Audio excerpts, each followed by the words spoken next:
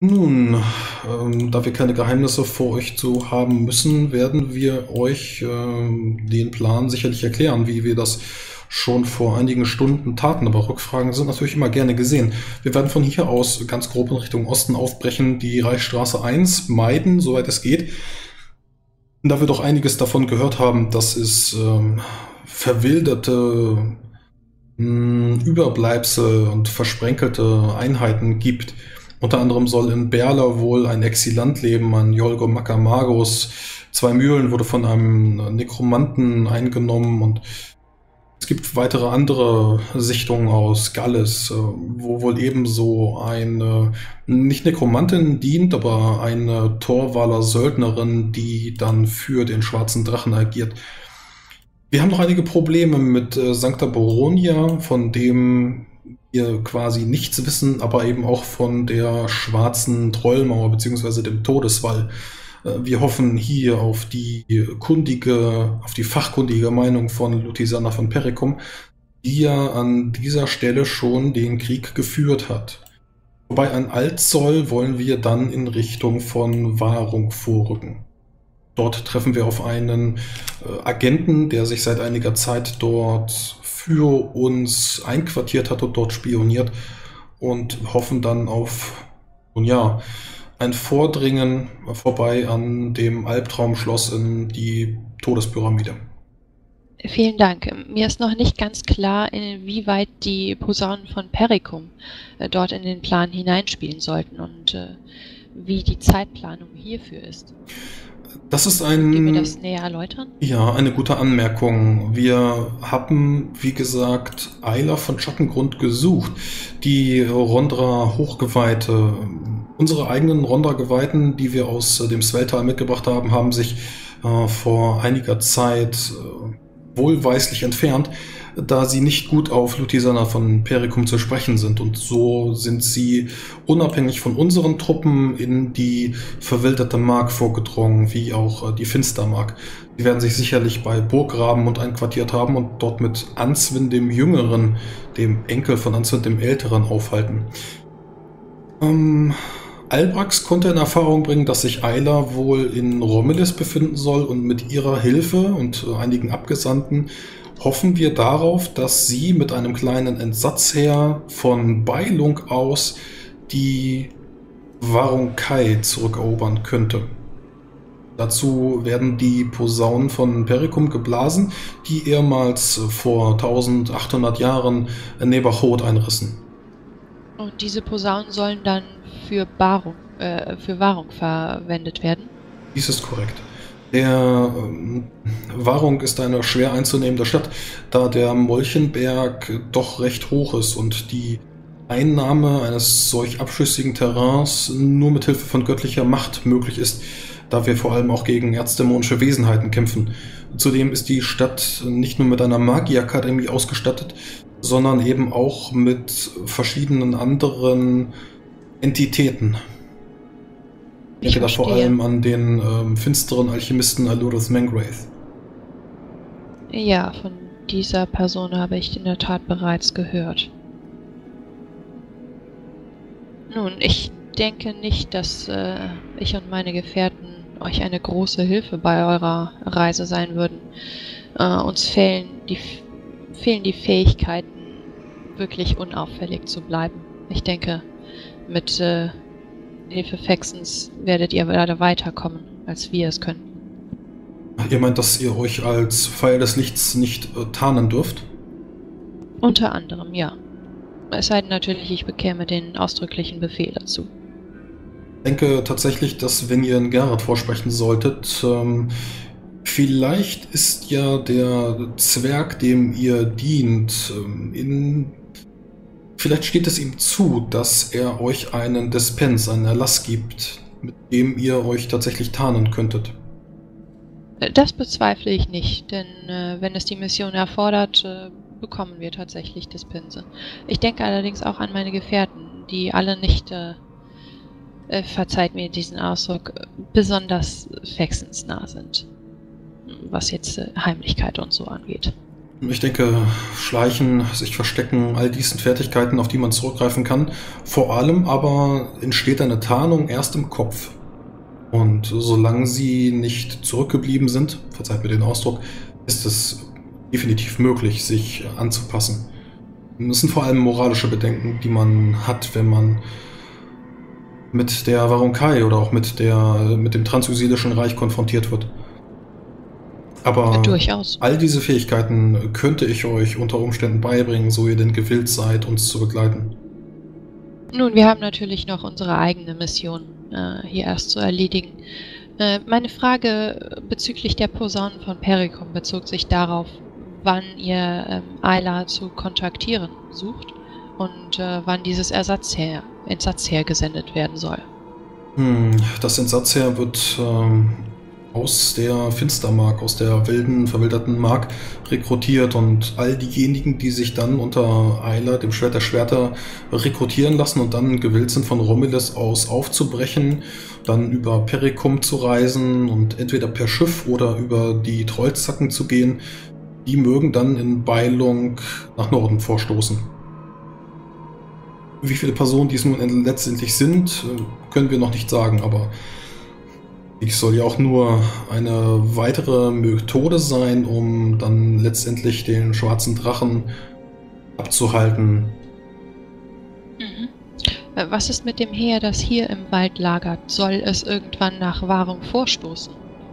Auch dies äh, steht zur Diskussion. Wir sind erst seit ähm, einigen Tagen wirklich fest hier stationiert. Mhm, da wir vorher noch in Greifenfurt und in, der, in den Weidenschen Landen unterwegs waren.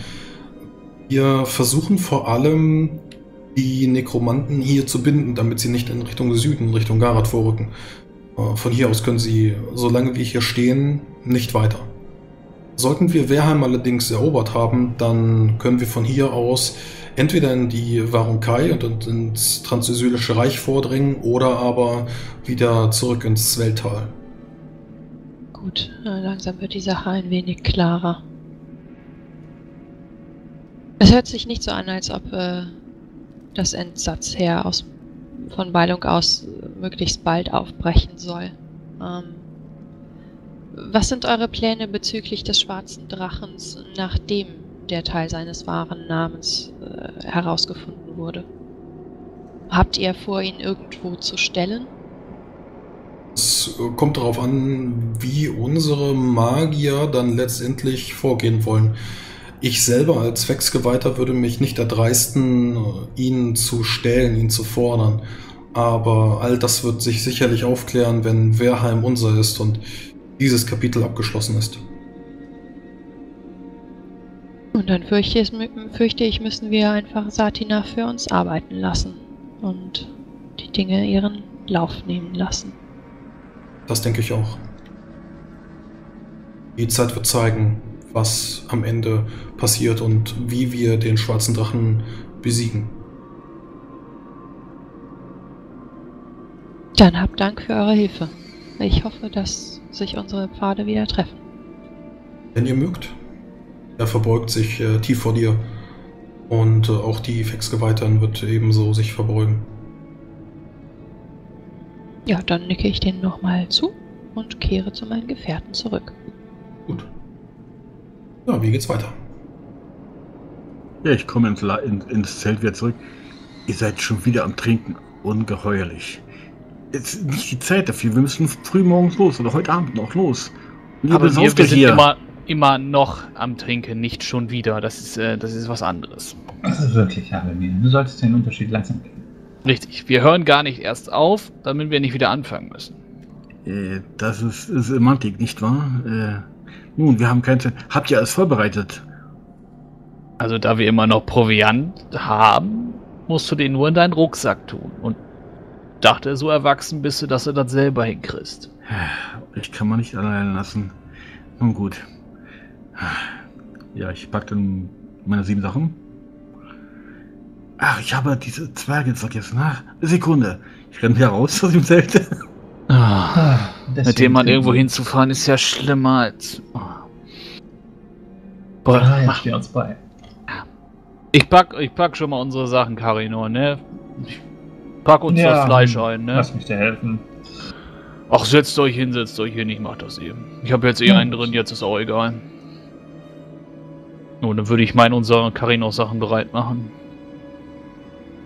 Ja, in der Zwischenzeit komme ich auch wieder dazu. Isaron, habt Oh, ihr eure ihr Sachen schon, schon gepackt? Äh, Wollt ihr auch nein. eine Wurst? Äh, ja, gerne. Ja, gut. gut. Ich, ich packe gerade das Fleisch ein. Möchtet ihr den Schinken oder die Wurst? Ich, Und ich, ich pack euch beides ein, ne? Ich pack euch mal beides ein. Äh, ja, danke. Sehr vernünftig. Ich habe sehr viel Fleisch mitgenommen. Also wir wollen heute noch aufbrechen. Sobald wie möglich, aber aber mir ist schon wieder seine Schwarzmagier-Kollegen beglücken oder sowas. Das Frag war mich ja er nicht. nicht was von Zwergen? Apropos Ja. Schwarzmagier. Wusstet ihr eigentlich, äh, ich habe jetzt von, von den anderen Söldnern habe ich eine ganze Menge über Mirona erfahren. Gibt's ja schon ein bisschen länger. Ich tue jetzt mal so, als wüsste ich, wer das ist. Ach so, die, natürlich. Ja, die Frau, genau. Ach, Fiem, das ist die, äh, die Nekromantin, die unten in äh, Werheim sitzt. Hier direkt äh, südlich von uns, die uns die ganzen Skelette in der Nacht auf den Hals schätzt. Ah. Ach, die bringen wir bestimmt nach oben. Gar kein Problem. Ja, aber sie ist eine von den, von den blutigen Sieben. Bringen wir trotzdem Was ist um. das? Das sind die äh, Söldner, die der finstere äh, Oborinor ausgerufen hatte, um die Sieben Gezeichneten zu stürzen. Das heißt, sie war die Anführerin von denjenigen, die die äh, Sieben Gezeichneten stürzen sollte. Versteht ihr? Ach. Wie viele Das bescheuerte. Söldner haben sich dem Feind eigentlich angeschlossen?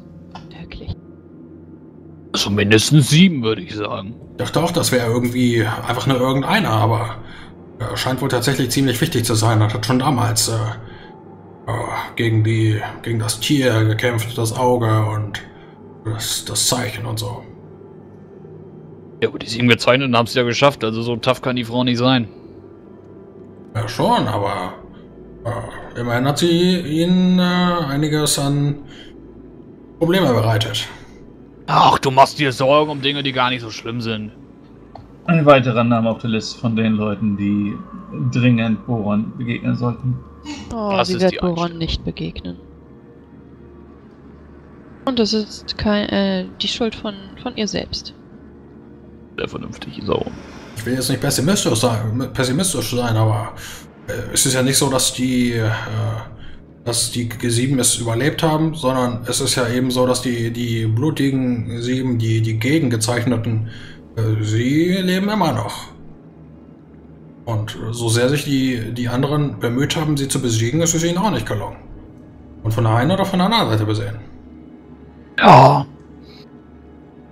Wirklich? Also, die sind alle noch am Leben? Ja, wenn ich das richtig mitbekommen habe, schon. Was machen die denn heute so? gestorben. Weiß nicht, was sie machen. Sind verschwunden. Aber äh, Ach, diese wenn die sich in irgendwelche Erdhöhlen hocken, dann wundert mich das nicht, dass die noch leben. die Mirona ist jetzt zum Beispiel wieder aufgetaucht. Ja. Gut, also das nächste Mal, wenn wir äh, keine wichtige Mission haben, ist das meine wichtige Mission. Böse. Nekromantin. Isaron, dann kannst du dich auf ein Zeichen äh, oder auf, auf eine Stufe stellen mit äh, den G7. Äh, so vermessen wäre ich nicht. Da haben wir auch noch Menschen. Das Also mag schon Personen. sein, aber Oh, die waren aber schon ganz gut unterwegs. Waren ja nicht Ja. nur Menschen. ich habe sie einmal von weitem gesehen. Äh, jedoch bestimmt auch, Rafim. Oh, ich äh, muss zugeben, dass ich. Also, bestimmt, ja, keine Ahnung. Ich erinnere mich nicht mehr so und so viel. Na gut, es war auch ein ziemliches Schlachtgetümmel. Mich haben wir in Xorlosch besucht. Tatsächlich? Ja, Ja, gut, warum auch nicht? Bist ja Hochkönig der Zwerge, da kann man die ja mal besuchen. Aber ich dachte, man darf in Sorlasch gar nicht rein, oder nicht? äh, Ja. normalerweise, normalerweise nicht. Normalerweise können da nur Zwerge rein, aber ich kann euch sagen, die Herzzwerge haben da schon ganz schön auf dem, äh, haben schon ganz schön mit dem Hammer auf den Tisch gehauen. Sehr vernünftig. Naja, wie gesagt, ich wollte euch das nur mitteilen, dass das nicht irgendeine ist. Wir werden Ah. aufpassen. Aber nun, was gibt es für einen schöneren Wettbewerb als wer schlägt die meisten Paktiererschädel ein? Ich würde mich einschreiben, so ist nicht. Und ich kenne mindestens 49 andere, die auch dabei sind. Auch noch sogar ein paar mehr. Ja, also wenn wir die große böse Nekromantin sehen, bringen wir sie um. Machen wir Box. Gut, dann, äh, wenn ihr soweit seid, ich wünsche euch viel Erfolg bei dem, was ihr tut. Und Ja. wenn ihr Hilfe braucht, äh, ihr werdet mich finden. Sicherlich. Ja, auch viel Spaß bei dem, was du hier machst. Ich weiß nicht so genau, was du machst, aber wird schon wichtig sein. Gegen den schwarzen Drachen kämpfen. Ja, das wäre auch wichtig. Hau für uns ein paar Schädel ein. Richtig. Ja, Sehr ja. Habt's mit euch. Angrosch. Ja, komm mit dir. Ryan Angrosch mit dir. Gut. Irgendwas, was ihr tun wollt. Ich gehe davon aus, dass ihr heute Abend noch aufbrechen mögt. Ja, es kommt drauf an, also wie spät genau ist es denn? Ist Ja. schon irgendwie direkt Abend, weil wenn wir jetzt nur noch irgendwie eine halbe Stunde unterwegs sind, bevor es dunkel wird, macht das auch irgendwie keinen Sinn. Ja, ich Ja, die Frage ist, ob wir nicht vielleicht nachts den Fluss überqueren sollten. So, ihr könnt mal davon rechnen oder da- davon ausgehen, dass es jetzt so 17 Uhr ist, äh, kurz vor Sonnenuntergang noch nicht, aber ähm, wir haben ja immer noch äh, Sommer. So, es ist noch sicherlich ein bisschen Sonne, aber wirklich lang reisen kann man dann nicht mehr. Äh, wir haben ja einige Karten zur Verfügung. Sieht das so aus, als ob wir das noch schaffen könnten, über den Fluss zu kommen, bevor es dunkel wird? Ja, also äh, einmal, ihr, ihr solltet nicht das, äh, das Mythraelsfeld direkt nehmen, das ist halt nicht so clever, aber über die Gernert sind das zwei Meilen von hier aus. Mhm. Achso, okay. Also das, das ist halt nicht viel, aber man, man müsste sich überlegen, wo man dann in der Wildnis äh, kampiert, wenn es dann äh, keine richtigen Dörfer mehr gibt oder das alles abgebrannt ist, ob man dann einfach in der, in der Wildnis sein Lager aufschlägt oder ob man dann hier noch einmal die Zelte benutzt. Wie breit war denn dieser Fluss? Ich meine, ich war ja auch schon mal an dem Fluss. Wie breit ist der denn? Kann ich mich daran erinnern? Hm, Also da kann man schon durchschwimmen, wenn man kein, ähm, wenn man keinen Wagen dabei hat. Du kannst es ja selber mal ausmessen auf der Wehrheim-Karte. Kurz machen.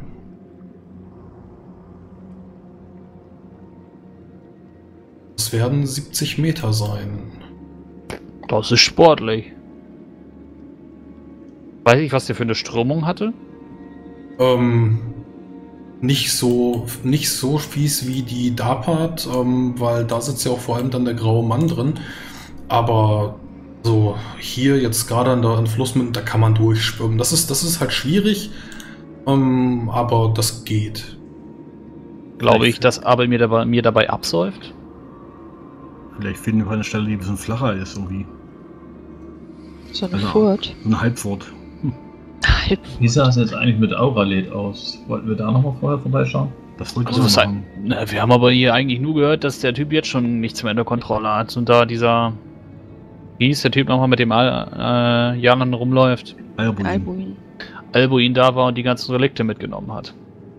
Wir wollten trotzdem mal schauen, aus der Ferne zumindest. Genau, also spähen wollten wir halt schon noch. Dann würde ich sagen, vielleicht können wir äh, innerhalb dem, des Waldes nach Norden reisen und dann äh, Nord, ein bisschen nördlich von Auralet die Straße überqueren und von dort aus gucken. Mhm. Also von hier aus nach Auralet sind es ganz grob ähm, fünf, sechs Meilen. Das dauert ein bisschen, aber ich sag mal, das könntet ihr in einer Stunde erreichen. Könnt natürlich auch in Auralet pennen. Ich, ja, weiß und von dort aus dann den Fluss am Morgen überqueren. Ich bin mir nicht sicher, ob es eine gute Idee ist, ein Aulet zu ernächtigen. Äh, bedenkt die Gule in den Wänden. Nun, nicht die anders haben wir abgefackelt. Könnte, Außerdem ist Auralet doch noch unter Kontrolle des Mittelreichs. Das haben die doch hier erzählt. wir können erst mal schauen vor Ort, was los ist. Und dann Ja, und wenn wir nicht, sollten auf jeden Fall schauen. Ja, wenn nicht, bringen wir halt alle um, die ihn uns blöde angucken und dann legen wir uns schlafen. ein guter Plan. Finde ich auch. Hat bis jetzt ja auch geklappt. Ich würde auf jeden Fall vorher noch im Lager, bevor wir aufbrechen, äh, die Zwergen, die Mechaniker besuchen äh, und ihr meinen Prototyp anvertrauen. Ja, kannst du machen. Angrosch Minia, die Baronin von zwei Mühlen, hast du ja kennengelernt. Das ist diejenige, die euch dann auch hier wieder ähm, ja, in die Arme läuft, beziehungsweise dann, wenn du ihr den Wagen übergibst, wird sie dann natürlich auch wieder äh, auf den aufpassen. Und dann Und kannst du den beim nächsten Besuch in Werheim hier wieder bei ihr abholen. Ihr, ihr reist jetzt wirklich nach Gareth äh, auf kleinen Umweg. Äh, Also sie hat nicht vor, jetzt aktuell aufzubrechen. Sie wird erstmal hier bleiben und weiter schanzen. Nun gut, äh, falls nicht in Gareth, äh, also nicht, falls nicht in Wehrheim, dann in Gareth oder irgendwo anders. Ja, also wenn, wenn sie von hier aus wieder aufbrechen wird nach Angbar, dann würde sie vorher den Wagen in Gareth wieder abliefern. Das kann sie auch versprechen. Wunderbar. Ja. Und ich, ich will bedanken und verabschieden. Und zurück ins Zelt, mit sieben Sachen packen, äh, drei Käse einpacken und eine Wurst und dann ist gut. Gut. Dann brecht ihr auf in Richtung Auralet. Ihr habt den Weg ja schon einmal angetreten, allerdings unterirdisch, als ihr in den Gängen der Zwerge nach Norden gebrochen seid, mit dem Kopf eingezogen, so ein bisschen gegangen. Ihr habt so auf alle Fälle dann beim letzten Mal den Weg unterirdisch angetreten und jetzt könnt ihr auf der rechten Seite die kleinen Hügel erkennen, die hier dann das äh, Land so ein bisschen aufrauen. Ihr habtet auch dann äh, hier gemeinsam das allererste Mal gegen die Drachenreiter gekämpft. Ihr erinnert euch, als ihr mit Pferd und Jalan dann angeritten seid und Ömer den Pfeil in Richtung von Varena von Mersing geschickt hat. All diese Geschichten, all diese Begebenheiten kommen euch wieder hoch und auf der linken Seite könnt ihr dann immer noch den sehr tiefen, finsteren Schädelwald erkennen, durch den ihr auch dann gekommen seid und da dann die roten Mondinfanteristen begegnet habt. Ja, es dämmert bereits, als ihr dann die Bandstrahler Burg Auralet erreicht, ähm, die wie immer dann umschlossen ist. Eine große, ja, Stadtmauer ist das nicht, aber eine große Burg. Und die Flaggen von Praios, die Flaggen der Bandstrahler, wehen auch hier wieder im Wind von Gulen oder von äh, zerfressenen Körpern auf den Mauern könnt ihr zumindest nichts erkennen. Ähm, aber wohl einiges an Lärm von wenigen Söldnern im Inneren. Wenn ihr dann näher und näher kommt, dann äh, könnt ihr auch sehen, dass keine Bandstrahler, aber irgendjemand Bewaffnetes steht wohl auf den Zinn. Ähm, kann ich erkennen, wer das ist? Also, also haben die irgendwelche Wappen oder, keine Ahnung, Signalfarben von einem berühmten Söldnerbanner an? Oh, nee, haben sie nicht. Ähm, es sieht wohl eher so aus wie einfache Söldner, die sich kein eigenes Wappen leisten konnten, um, ja, die jetzt für wenig Gold angeworben sind, damit sie jetzt hier die, die Mauern bemannen. Vielleicht wieder Bauern oder Glücksritter. Kann man abschätzen, wie viele es etwa sind? Also so das, was du jetzt siehst ähm, auf den Mauern, das reicht nicht aus, aber du siehst so 10, 12 verschiedene Gesichter, die aus der Entfernung dann nach euch versuchen zu starren. Aber je nachdem, ob ihr die Straße benutzt oder dann euch ein bisschen abgetarnt in die Hügel habt, kann man da mehr oder weniger kennen. Also es sind nicht viele. Nun, wie es scheint, äh, haben wir die Möglichkeit, äh, diese Söldner zu kontaktieren und dort zu übernachten oder äh, hier im Freien. Ich sag, Rune, jetzt geh doch mal dahin, sag, ich bin ein Pfeil des Lichts und im Namen Prios macht das Ding auf. Dann gucken wir halt, wie die reagieren. Vielleicht sollten wir etwas diplomatischer vorgehen. Äh, das war doch sehr diplomatisch. Von Im Namen auch. Praios? Also, Äh, da kann doch wohl kaum einer was dagegen sagen. Nun ja, wir könnten Ihnen äh, vielleicht eine Bezahlung anbieten, damit wir dort übernachten dürfen. Eine Bezahlung? Aber mir. Äh, nun ja, Sie sind äh, vielleicht nicht die Besitzer, aber zumindest die momentanen äh, Besetzer, könnte man sagen. Sind nicht die Besetzer, aber die momentanen Besetzer. Aber mir hört euch doch mal selber zu. Ihr werdet schon ganz verwirrt auf eurer Ich alten sagte Tage. Besitzer und Besetzer, aber das ist egal. Nun, äh, ich schlage trotzdem eine etwas äh, diplomatische Lösung vor. Vielleicht schicken wir Kiras nach vorne.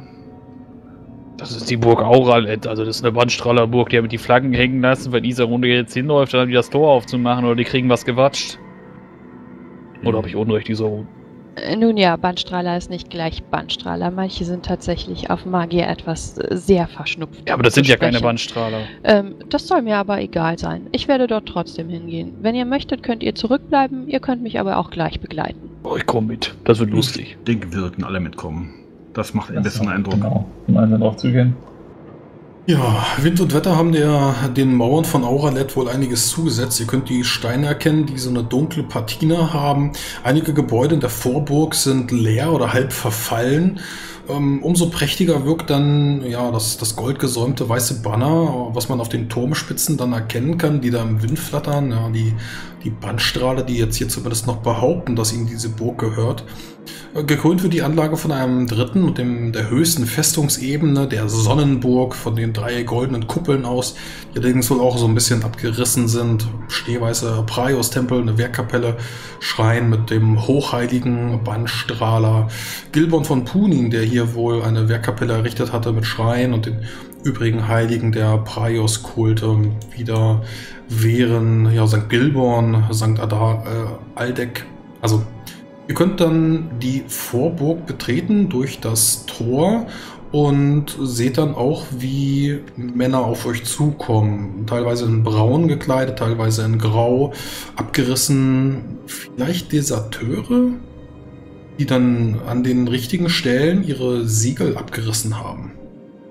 Bewaffnet mit hellen Baden. Äh, halt, äh, im Namen von Hauptmann Greifax, was äh, tut ihr hier? Ja, ich bleibe stehen, ähm, die Hand locker am Schwertknauf. Äh, Praios zum Gruße. Hm, bitte bringt mich zu eurem Kommandanten. Äh, wer seid ihr denn? Major Mager Isarun von Spogelsen. Pfeil des Lichts. Äh, ihr seid ein Zauberer, oder? Richtig, ich bin eine Gildenmagierin. Und die anderen?